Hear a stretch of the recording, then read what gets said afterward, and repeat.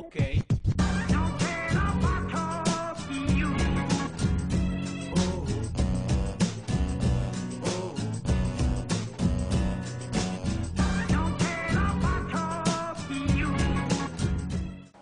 Buongiorno a tutti, innanzitutto un bel consiglio per gli acquisti, è uscita la seconda raccolta con eh, le seconde nove puntate del eh, Passaparola, questa si intitola Senza Stato né legge, lo dico perché ci autofinanziamo con questo spazio e quindi è giusto far sapere che chi vuole, chi è interessato a conservare la serie dei nostri interventi magari anche perché trova qualche difficoltà di collegamento o di linea, lo può fare, li può trovare in buona definizione. E quindi eh, lo segnalo perché eh, ci manteniamo così e se qualcuno ci dà una mano possiamo continuare anche in futuro a mantenere vivo questo spazio. Questa settimana parlerei di un signore, anzi due, ma uno è legato all'altro, non esiste l'uno senza l'altro, che stanno terremotando quel poco che rimane ancora ehm, di opposizione o di presunta tale in Parlamento, cioè di questa coppia D'Alema e La Torre, che sono un po' come come i fratelli Sant'Anastaso, sono un po' come Gianni e Pinotto, viaggiano sempre in coppia. Una volta uno era il capo, l'altro era il portaborse, poi a un certo punto il portaborse fu emancipato, fu promosso e divenne addirittura senatore e poi addirittura vice capogruppo del Senato, del, del, dei DS al Senato e adesso in questa legislatura vice capogruppo del PD al Senato. È la più alta autorità dopo Anna Finocchiaro dell'opposizione, quindi immaginate come siamo messi. Bene, questo La Torre, eh, due anni fa, anzi tre anni fa, l'estate del 2005, fu beccato con i pantaloni in mano praticamente mentre allenava a bordo campo eh, due degli tre scalatori, dei tre scalatori delle, mh, delle scalate dei furbetti del quartierino, quello che stava aggredendo il Corriere della Sera Ricucci e quello che stava aggredendo la BNL Consorte, mentre D'Alema fu preso soltanto mentre collaborava alla scalata di Consorte, cioè di Unipol, alla Banca Nazionale del Lavoro. Oggi eh, i due stanno tornando a far danni, non in ambito finanziario stavolta, lì hanno già fallito, tant'è che la BNL non è passata all'Unipol. Eh, I loro sforzi si sono rivelati vani, oltre a essere dei poco di buono sono anche dei noti cialtroni e quindi non riescono poi a portare a termine nemmeno le loro furberie ma oggi stanno creando danni perché la torre naturalmente è quello che ha screditato, eh, ammesso che ce ne fosse bisogno, il PD andando a, a scrivere i testi su un pizzino al suo omologo dell'altra parte, al vice capogruppo del centro del Partito delle Libertà, del Popolo delle Libertà, Bocchino nella famosa immagine carpita omnibus sulla 7 quando Bocchino è in difficoltà la torre lo soccorre. E questo naturalmente ha prodotto un certo terremoto nel PD, visto che insomma, certe cose si sono sempre fatte di nascosto, certi soccorsi rossi o rosé si sono sempre prestati al centrodestra ma senza farsene troppo accogliere. Stavolta era proprio sotto l'occhio delle telecamere, ci voleva un'intelligenza come quella di La Torre per arrivare a tanto e meno male che è successo così almeno anche gli scettici possono vedere non quanto siano uguali, perché non c'è niente di uguale fra PD e PDL, quanto sono complementari, come dicono Veltri e Oliviero Bea, ehm, l'attuale maggioranza e l'attuale sedicente opposizione targata PD. Devo dire che eh, se si facesse in Italia l'attenzione che si dovrebbe prestare eh, al, all'immediato, non dico al passato, all'immediato, all'attuale, già bastavano e avanzavano le telefonate di La Torre e di D'Alema con Consorte e per La Torre pure con Ricucci per tagliare corto e dire questi hanno fatto abbastanza danni, rimandiamo a casa. Invece no, c'è voluto un pizzino eh, per capire chi è la torre e naturalmente vedrete che questo pizzino verrà prontamente dimenticato e perdonato nel giro di pochi giorni proprio perché da noi non paga mai nessuno per, suoi, eh, per le sue malefatte. Pensate soltanto a quante centinaia di migliaia di voti hanno fatto perdere questi signori con le scalate bancarie nella campagna elettorale che Prodi cominciò nell'autunno del 2005 in largo vantaggio e poi assottigliò fino al punto di pareggiare contro Berlusconi nel 2006. Era la campagna elettorale nella quale giustamente i giornali di Berlusconi usavano le intercettazioni di Fassino, abbiamo una banca, sputtanamento che poi proseguì quando uscirono quelle di D'Alema e La Torre, in cui D'Alema addirittura, come vedremo, diceva a consorte facci sognare. Questi danni non sono mai stati pagati perché nessuno ha mai fatto i conti con quella stagione. D'Alema, che non è stupido, capì quando uscirono queste telefonate l'anno scorso, quando la Forleo le trasmise al Parlamento, che la base era completamente sconcertata, che bisognava tirarsi da parte per un po', inabissarsi, come si dice in Sicilia, calati iuncu che passa la china, calati giunco che passa la piena in modo che la gente dimenticasse. Oggi abbiamo dimenticato, ecco perché ne parliamo a promemoria, bisogna rifare memoria di quelle telefonate perché nessuno ci ha mai fatto i conti e nessuno ha mai pagato il pedaggio. Intanto di cosa parliamo? Parliamo del fatto che nell'estate del 2005, protetti dal governatore Fazio e dal premier Berlusconi, ma anche dai vertici dei DS e della Lega Nord, una masnada di avventurieri, rider, speculatori, immobiliaristi, palazzinari, decide di mettere le mani su un pezzo eh, dell'editoria, la più grande casa editrice indipendente, il, politicamente indipendente, cioè la Rizzoli Corriere della Sera, e su due banche strategiche come la Banca Nazionale del Lavoro a Roma e la Banca Anton Veneta a Padova. Gli scalatori agiscono in apparenza su tre fronti, in realtà sono tutti incrociati fra di loro perché le tre scalate in realtà sono una sola che si propone di ridisegnare a immagine e somiglianza di Fazio, di Berlusconi, di D'Alema e di Bossi la, um, un pezzo del capitalismo e un pezzo dell'editoria italiana. Le mani dei partiti, eh, che ormai sono vassalli di questi finanzieri, eh, su un pezzo di sistema bancario e un pezzo di sistema dell'informazione. L'operazione non riesce perché fortunatamente c'è la Procura di Milano che chiede le intercettazioni e fortunatamente c'è un GIP come Clementina Forleo che le concede per cui vengono tutti presi con le mani nel sacco eh, e con il sorcio in bocca, con la coda che usciva ancora dalla bocca, mentre stanno violando tutte le regole penali e, e di borsa che impongono, come voi sapete, a chiunque voglia prendersi un'azienda rastrellando le azioni, di dichiararsi e uscire allo scoperto quando ha raggiunto il 30% del controllo azionario di quell'azienda. Puoi comprarti una banca, quando arrivi al 30% devi dichiararti e lanciare l'OPA, cioè il resto delle azioni lo devi comprare sul mercato pagando le azioni ovviamente di più, perché se dichiari di voler comprare una società il valore delle azioni sale, i risparmiatori che hanno le loro azioni le vedono sopravvalutare, te le vengono a vendere, tu le compri e ti assicuri la società con benefici per tutto il mercato. Fu così funziona una borsa eh, democratica e, e in un sistema di libera concorrenza. Così dice la legge Draghi, invece questi furbastri qua non volevano lanciare l'OPA e quindi accumulavano pacchetti azionari all'insaputa del mercato, addirittura, visto che non volevano nemmeno tirar fuori i soldi, per esempio con sorte, assicurandosi che le azioni della BNL le prendessero cooperative, società di prestanomi, finanziarie, amiche sue, senza vendergliele perché sennò lui avrebbe dovuto comprarle e non aveva i soldi. Ricorderete che l'Unipol era grossa un quarto rispetto alla BNL che voleva comprare. Era una pulce che voleva mangiarsi un elefante.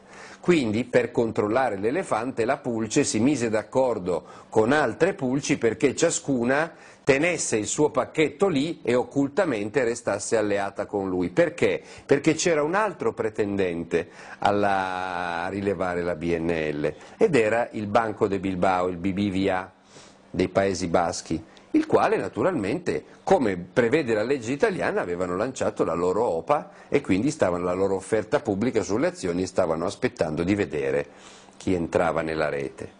Loro compravano pagando, lui, consorte, faceva il mosaico delle pulci per arrivare al 51% senza doversi dichiarare e quindi senza dover strapagare queste azioni, in barba alla legge Draghi. Questa è l'accusa che viene mossa a lui, come viene mossa a Fiorani per la scalata della Popolare di Lodi all'Anton Veneta, come viene mossa a Ricucci per la scalata al Corriere della Sera, anche se Ricucci perlomeno, pur avendo, secondo l'accusa, tradito e truffato il mercato borsistico, i soldi almeno ce li metteva lui.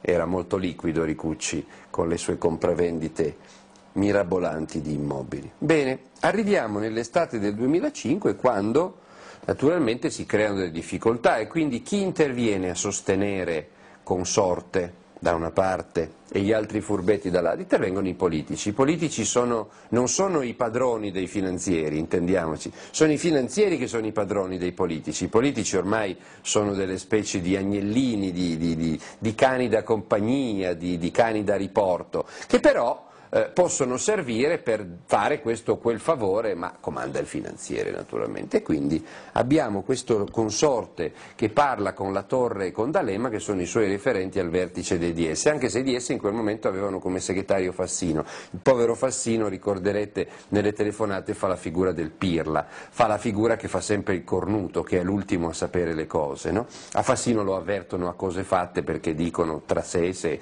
tanto lui non capisce. Invece quelli che stanno stanno nel centro, nel cuore dell'operazione, insieme a Consorte, sono la Torre e D'Alema. E infatti spesso la Torre passa il telefono ad D'Alema della speranza che così D'Alema sia immune da intercettazioni, pensate che intelligenza, eh, quello che dici viene impresso sia che parli su un telefono sia che parli su un altro, il fatto poi che fosse intercettato il telefono di consorte fa sì che da Torre potesse cambiare tutti i telefoni di questo mondo, ma intanto comunque quello che diceva finiva sempre nell'intercettazione sul telefono di, di consorte. No, questi politici passano per dei geni e in realtà sono talmente stupidi ehm, che uno fatica a credere che siano così stupidi. Pensate soltanto a quando D'Alema viene a scoprire, non si sa da chi, grazie a una fuga di notizie che nessuno ha mai chiarito, che ci sono i furbetti del quartierino e addirittura il governatore Fazio sotto intercettazione, si affretta ad andare a avvertire Consorte di stare attento alle telefonate. E come lo avverte? Telefonandogli sul telefono intercettato. Pensate che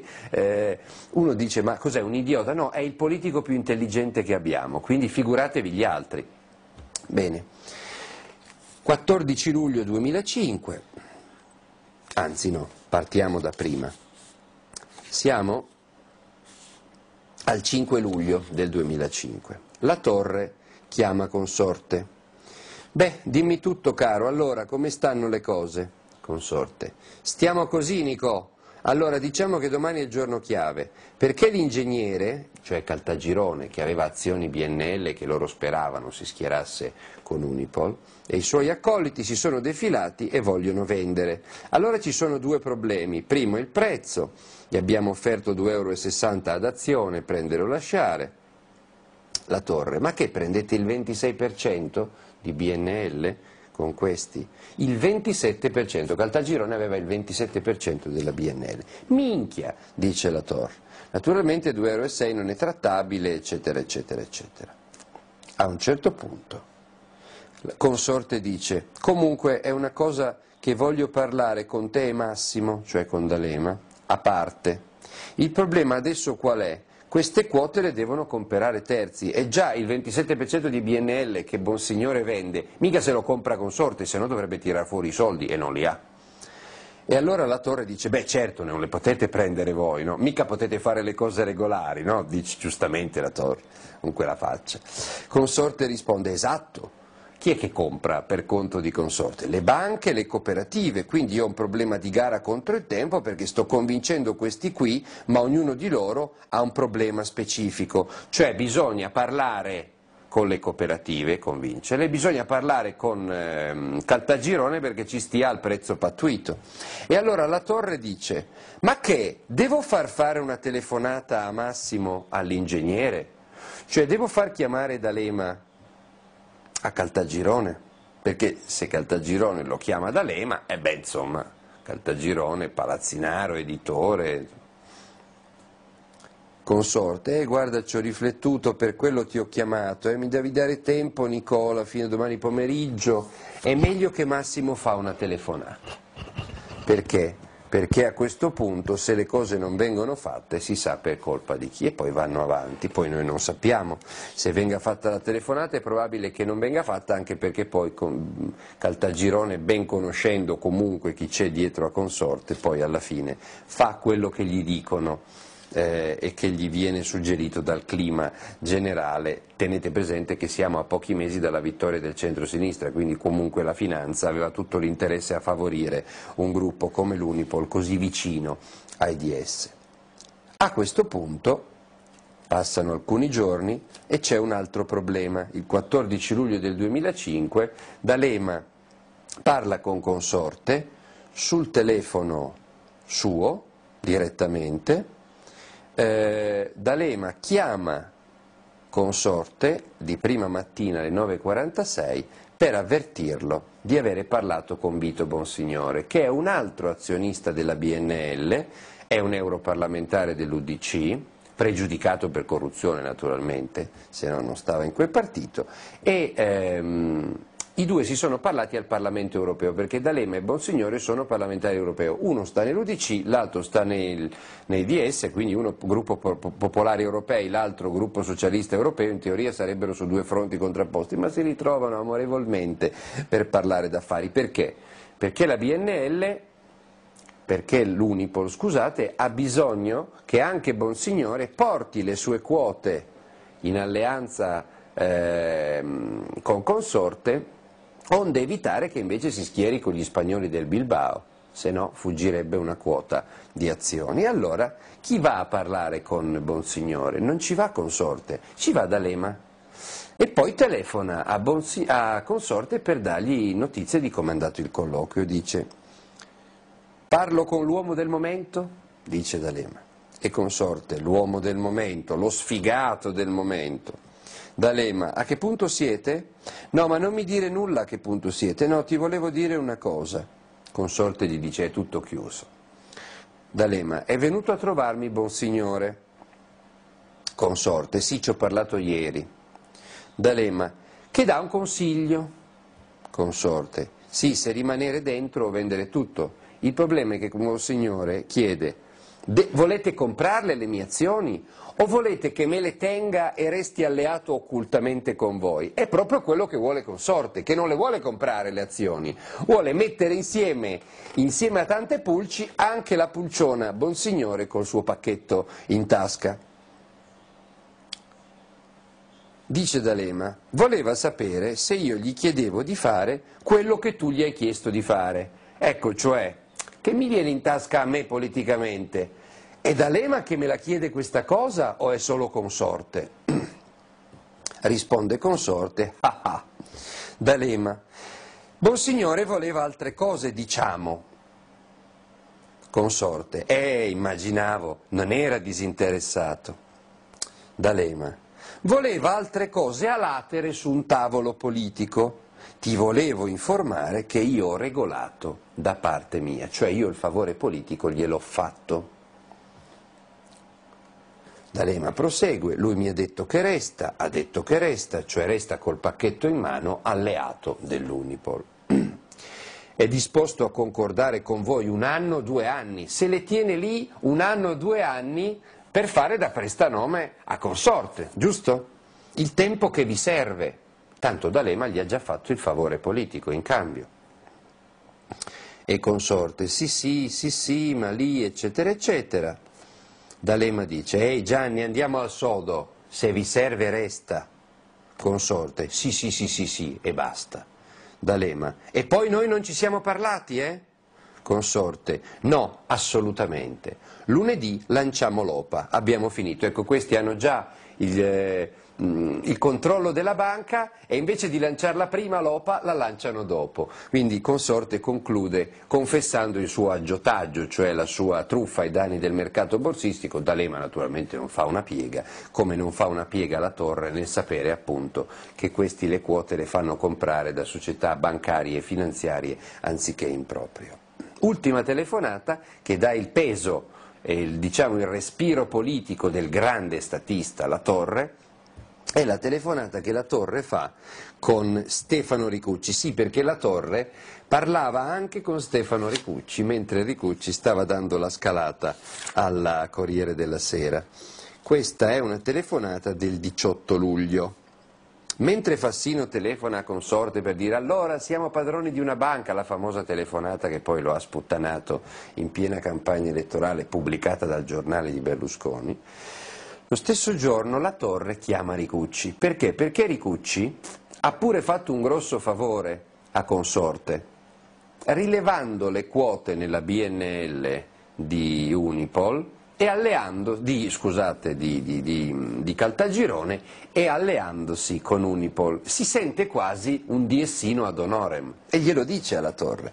Eh, I due sono amiconi, eh, proprio, sono affettuosissimi come se fossero, non lo so, Berlinguer e Natta. Ecco, eh, dato che le nuove generazioni sono questa farsa che abbiamo visto, qui invece di Berlinguer e Natta abbiamo la torre Ricucci, Nicolino e Stefanino. Dice la torre, Stefano! Risponde Ricucci, eccolo il compagno Ricucci all'appello. Avrà avuto anche il pugno alzato probabilmente. La torre, ah ah! Ricucci, ormai questa mattina a consorte gliel'ho detto, eh, datemi una tessera, dei DS ovviamente, perché io non gliela faccio più. Eh. Vedete che anche qui continua questa commissione. Ricucci telefona a consorte per chiedergli una tessera dei DS, come se consorte fosse il leader dei DS. È la stessa confusione che aveva in testa Fassino quando diceva siamo padroni di una banca anzi siete padroni di una banca, non capiva bene dove finivano i DS e dove cominciava l'Unipol, eppure uno è un partito, l'altro è un'assicurazione, pensate che roba. Questa mattina ho chiesto a consorte datemi una tessera perché io non gliela faccio più, eh? La torre, ma ormai sei diventato un pericoloso sovversivo. Ricucci, eh sì, eh? La torre è un pericoloso sovversivo rosso, oltretutto. Ricucci, c'è anche il bollino stamattina ho preso da Unipol tutto, ho preso tutto a posto, abbiamo fatto tutte le operazioni con Unipol, quindi non ti posso dire niente, eh, come dire, adesso mi dovete eterna gratitudine, la torre, sì, sì, sì, sì, non possiamo, dobbiamo parlarci un po'. Ecco, queste sono le telefonate che danno l'idea di come è ridotta la nostra politica, di come è succube della finanza, di come ormai questi vengono portati al guinzaglio dai finanzieri, anche da finanzieri da strapazzo come quelli che abbiamo visto qui all'opera, senza un minimo di autonomia. Poi parlano di autonomia della politica, parlano di primato della politica, ma questi, ma quale primato?